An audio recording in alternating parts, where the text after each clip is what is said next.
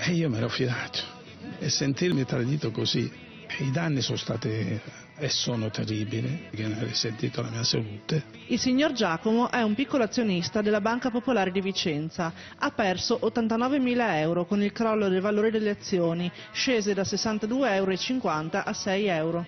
Ho pensato a un mondo di menzogne, di inganni e che ero entrato eh, in una questione, in un dramma più grosso di me.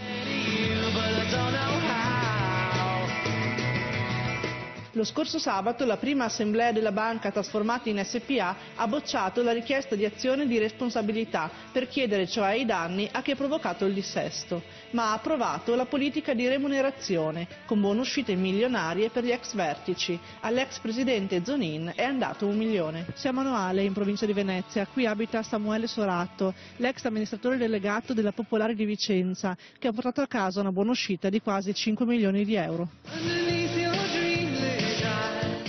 L'azione perde il 90%, mentre gli risparmiatori piangono una perdita drammatica dei risparmi, questi signori a quota un milione, un milione e mezzo, due milioni di emolumenti annui hanno visto incrementare il loro compenso. È indecente. Alla Popolare di Vicenza bocche cucite. Fonti interne fanno sapere che le buonuscite erano inattaccabili perché previste da contratto e che l'azione di responsabilità è solo rimandata a quando ci sarà il nuovo CDA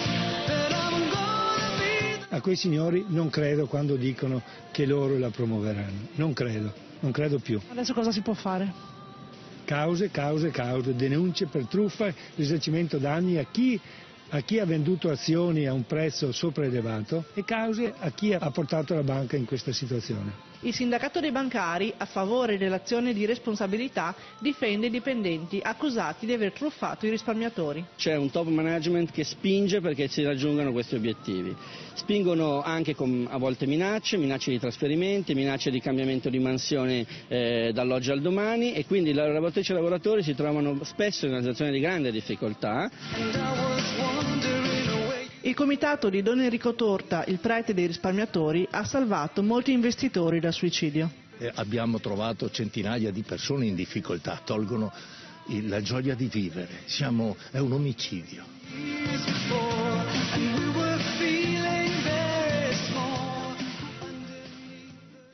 Allora, avete sentito da 62